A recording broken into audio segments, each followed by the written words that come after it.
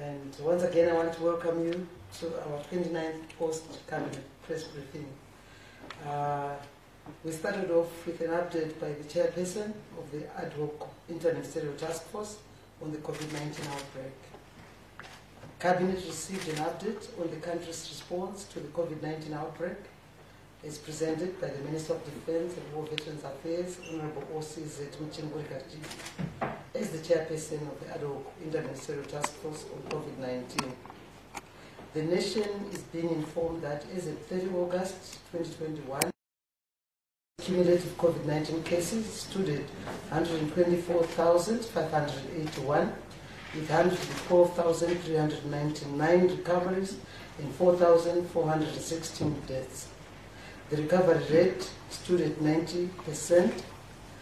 There are 7,766 active cases in the whole country.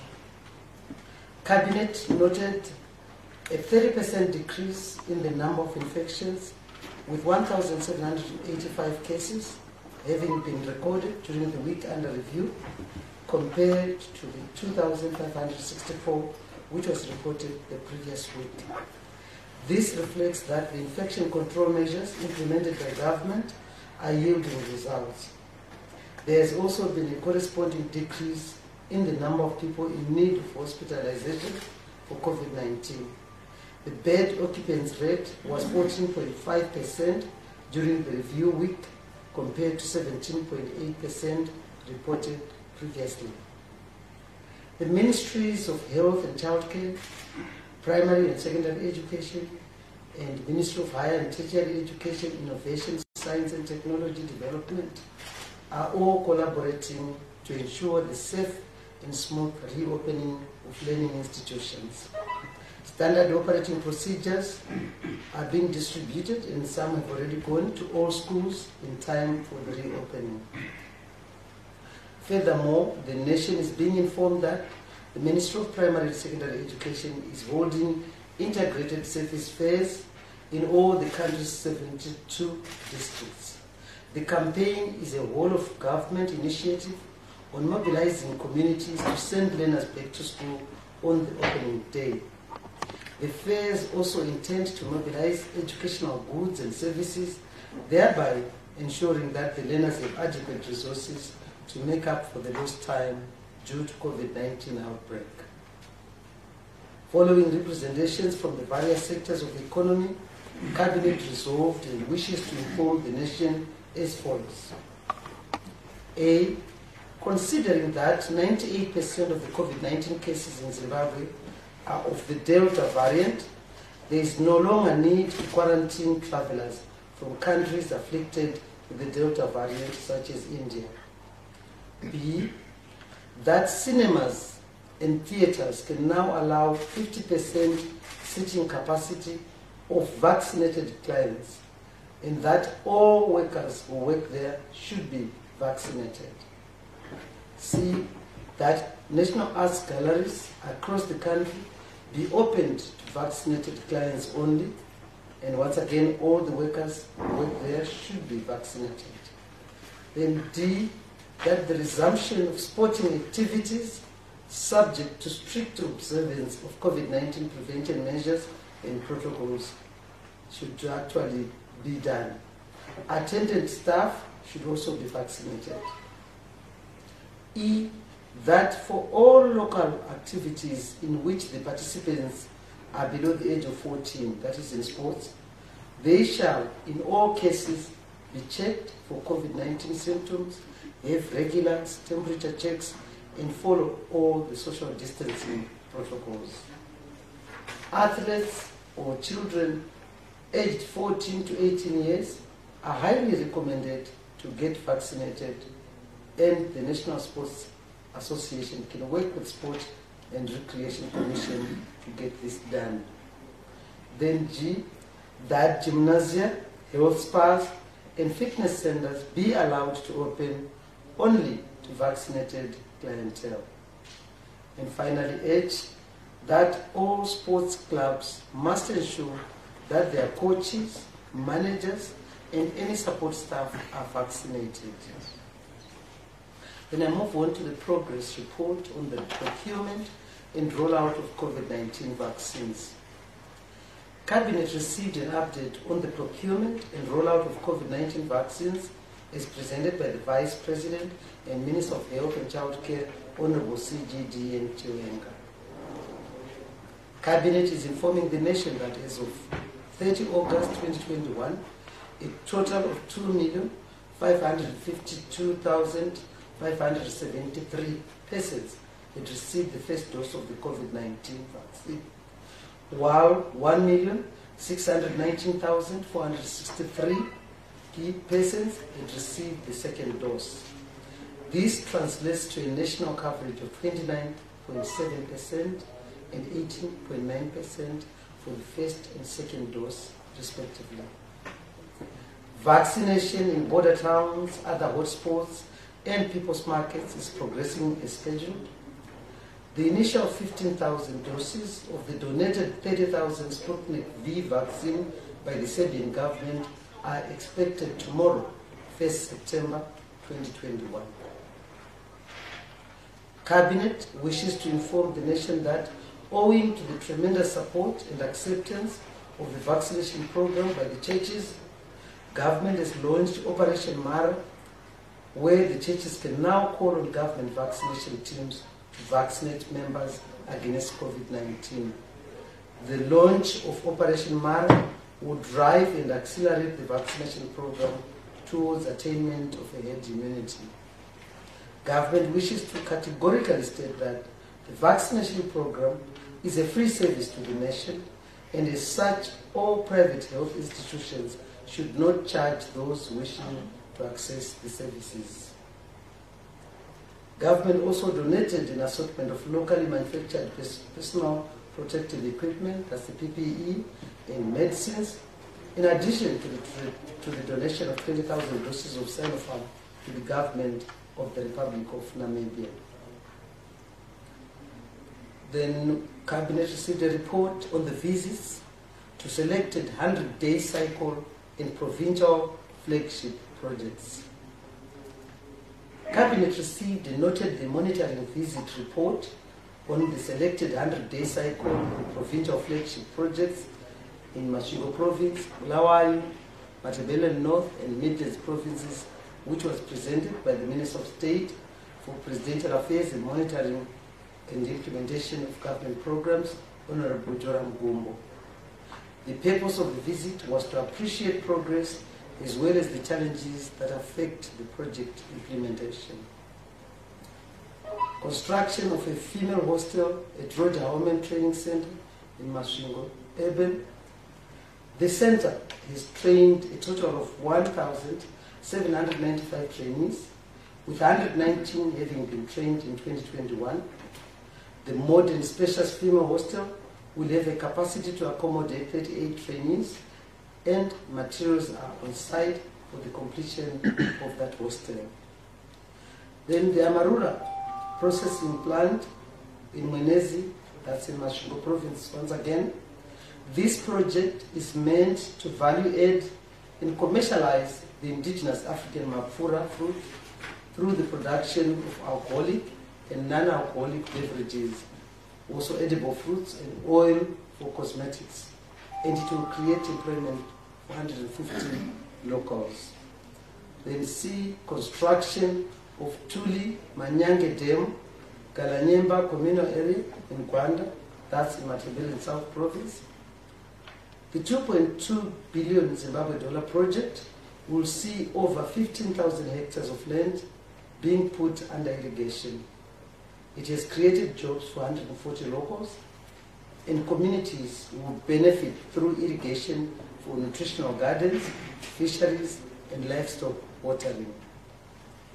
Then D, Old Bulawayo Monument, Kobulawayo, that's in Matabele South Province.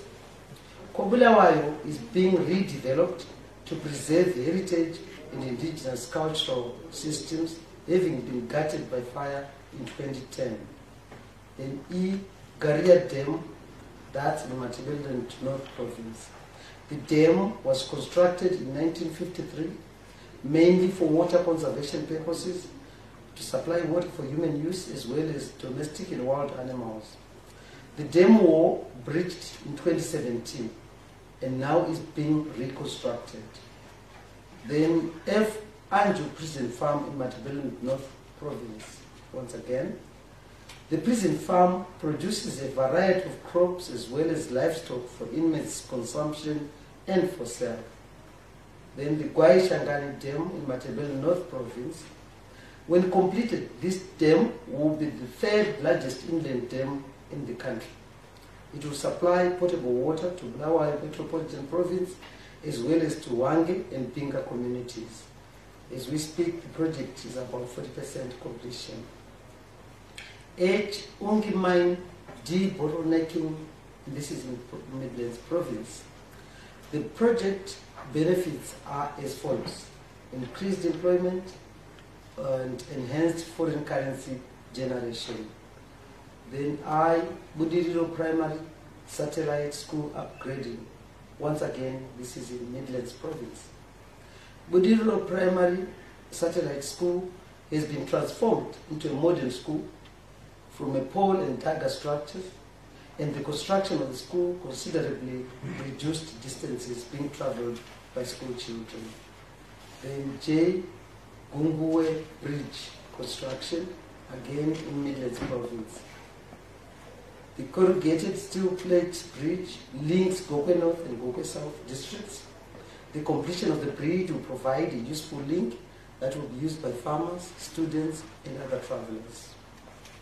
I move on to the update on the preparations for Zimbabwe's participation at Expo 2020 Dubai. Cabinet considered an update on Zimbabwe's participation at Expo 2020 Dubai, which is from 1 October 2021 to 31st March 2022. And this report was presented by the Minister of Foreign Affairs and International Trade, Honorable Dr. F.M. Shava. On the progress on the preparations, the nation is advised that mobilization of the private sector is continuing with business entities being encouraged to propose events that can be included in the thematic calendar of events. Participants are expected to come up with events that explore solutions to fundamental global issues guided by the 10 theme weeks and 18 international days. On tourism, the Ministry of Environment, Climate, Tourism and Hospitality Industry has mobilized 21 tourism operators to participate at the Expo 2020 Dubai. A number of tourism videos from the Zimbabwe Parks and Wildlife Management Authority and Ngamo Safaris are among other tourism operators and they will be shown during the Expo. Under industry, trade and investment, the ministry is mobilizing and engaging with private sector and this is continuing with a number of companies having already contributed toward the Zimbabwe Pavilion retail store. And these are some of the companies who have already registered. Tanganda Tea Company, Patrick Marvels, Adam Bead, Cairns Food, Mr. Sauce, and Copperware, whilst Schweppes and National Foods pledged to contribute perishable products. Zimtrade is working with ZIDA, that's the Zimbabwe Investment Development Agency, ZNCC, Zimbabwe National Chamber of Commerce, and CZI, Confederation of Zimbabwe Industries, in coming up with information on trade and investment opportunities in Zimbabwe, coming up also with project proposals from companies which will be displayed in the Zimbabwe Pavilion. Under mining, the Ministry of Mines and Mining Development is mobilizing the private sector in the mining industry to participate in that Expo 2020 Dubai. On content production, Ministry of Information, Publicity and Broadcasting Services has mobilized media houses to help with communication strategy. To date, 13 out of the 30 media houses, including ZBC, ZTN, and Zim Papers, were engaged through a competitive tender process. The communication products to be produced by the companies include information and communication material, audio videos, jingles for pre, during, and post duration of the expo in order to profile the opportunities found in the country. On the pavilion construction, the Zimbabwe pavilion construction is 100% complete. The remaining scope of work currently underway includes finalization of the digital equipment, zone labeling, installation of the Zimbabwe film and the country name, installation of the Zimbabwe model map, and virtual reality sets. Then I move on to the development of Melfort Smart City. Cabinet considered and approved proposals for the development of Melfort Smart City, and this was presented by Honorable Professor Mavima as Chairman of the Cabinet Committee on Social Services and Poverty Eradication. Cabinet wishes to inform the nation that the Ministry of National Housing and Social Amenities, in collaboration with a consortia of pension and provident funds, banking institutions, and other developers, funded by the Zimbabwe Electricity Industry Pension Fund and the ZESA Pension Fund, is collaborating the development of Melfort Smart City. Melfort is strategically located midway between Harare and Marondera and has potential to become a major economic hub. It is endowed with excellent weather conditions, abundant water sources, thriving agricultural activities, a railway line, and an elaborate road network. Melfort has a direct link with the Robert Gabriel Mugabe International Airport, and the link road will reduce the distances to the airport for the exporters and other vehicular traffic from the east. There are substantial downstream spin-off benefits accruing from the envisaged development. And going forward, the smart city also aims at decongesting Harare, and the concept will be, will be replicated throughout the country.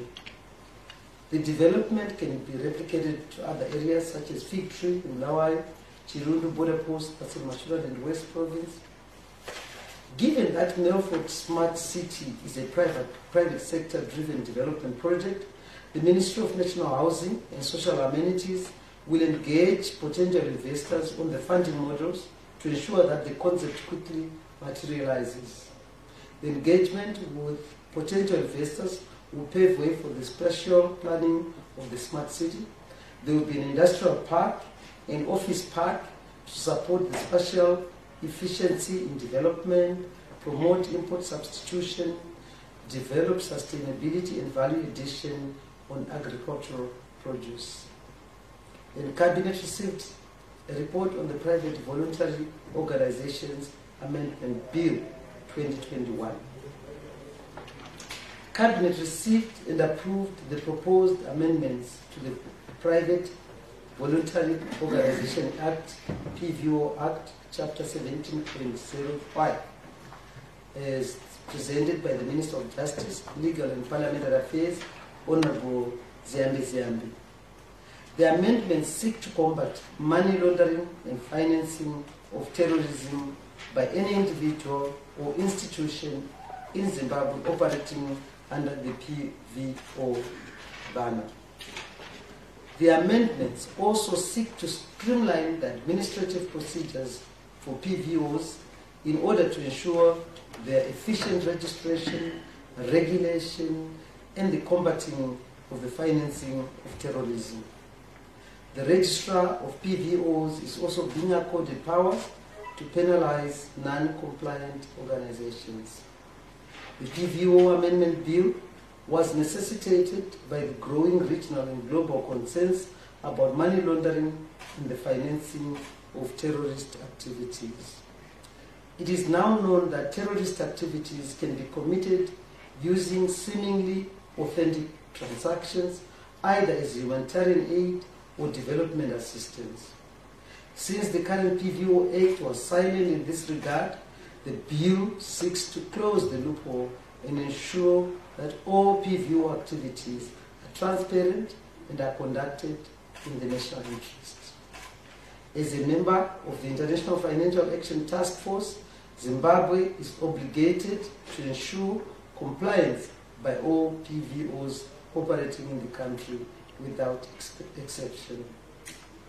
Whereas registration has all along been free, the registrar is now empowered to collect registration fees from all PVOs.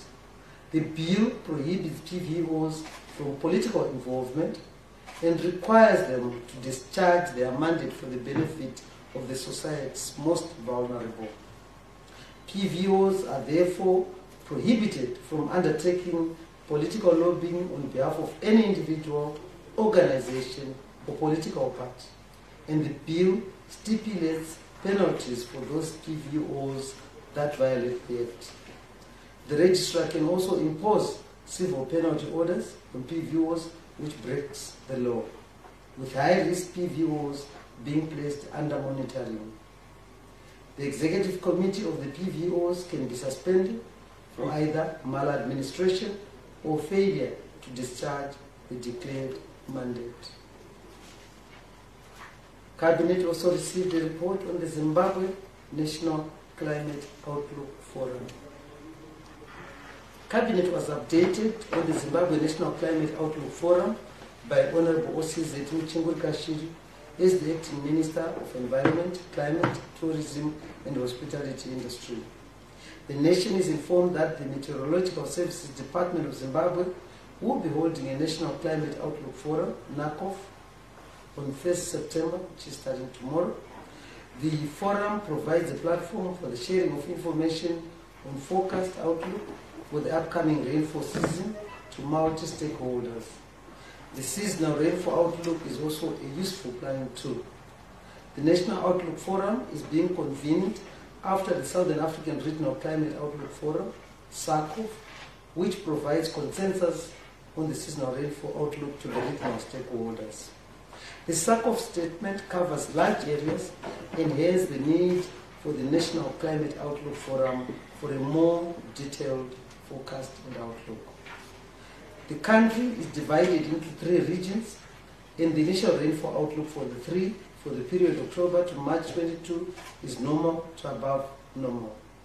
Detailed information will be provided by the Meteorological Service Department of Zimbabwe from time to time. Cabinet was briefed on the commissioning of the dairy plant this was the dairy and beef production projects by the private sector. Cabinet was briefed on this commissioning of the dairy and beef production project by Zimplats, and the presentation was done by the Minister of Lands, Agriculture, Water, Fisheries and Rural Settlement, Honorable Dr. Anxious Masuka. His Excellency, the President, Comrade E.D. Mnangagwa, commissioned a dairy and beef project being implemented by Zimplats in Mondoro Ngezi on the 26th of August 2021. Zimplats is in the process of introducing a special breed of Japanese cattle, the Wagyu. The initiative dovetails with government's ongoing efforts to increase the country's beef and dairy output. Up to 25 million liters of milk will be produced from this private sector-led initiative, which is also gearing towards specialization in the export of beef to the Asian market. It is expected that some 650 metric tons of beef will be exported annually. The special beef fetches between US $300 and $400 per kilogram. Zimplats will engage the local communities in pasture development as well as help improve cattle breeds in the community through artificial insemination program. Then Cabinet received an update on the tour of cantonment areas. Cabinet received and approved a report by the Interministerial Committee which visited Zimbabwe Defense Forces cantonment areas and this report was presented by the Minister of National Housing and Social Amenities, Honorable Daniel Garwe. Cabinet approved the following. A. Construction of permanent physical infrastructure in, at William Ndangana Barracks in Chipinge, given that the battalion is responsible for the security of the Zimbabwe-Mozambique border area, and Maganyana Barracks in Plumtree.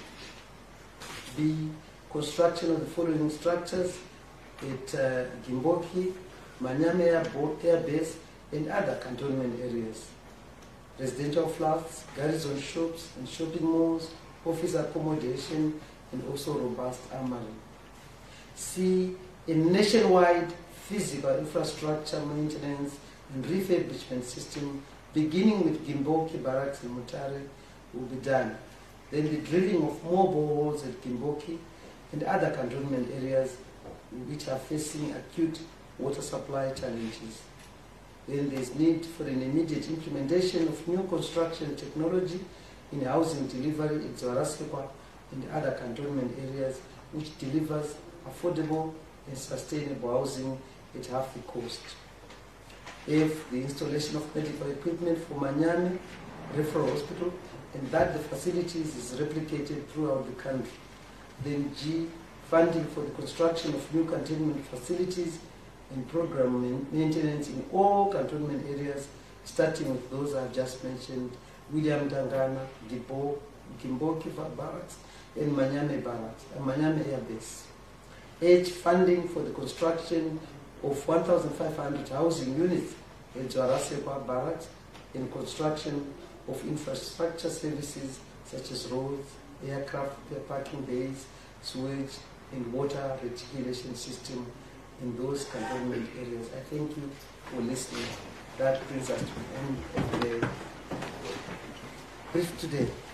Thank you very much, Honorable Minister, for your presentation.